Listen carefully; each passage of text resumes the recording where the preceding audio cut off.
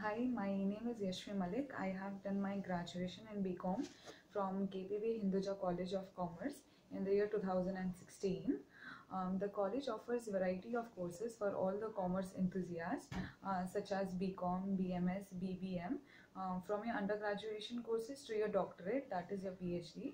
Um, talking about the faculty, we had uh, we had an amazing faculty uh, who are PhDs in their own fields, um, and we had uh, faculties who had 15 to 20 years of experience in the corporate field. And um, when we talk about the infrastructure, we had great infrastructure. Um, we had huge classrooms which can accommodate um, 120 to 130 students at a time. Uh, we had huge libraries. Uh, it uh, the college even offered different facilities for the students, such as we had recreational facilities for all the boys and girls. We had gymkhanas, we had uh, table tennis, we had various games in our colleges.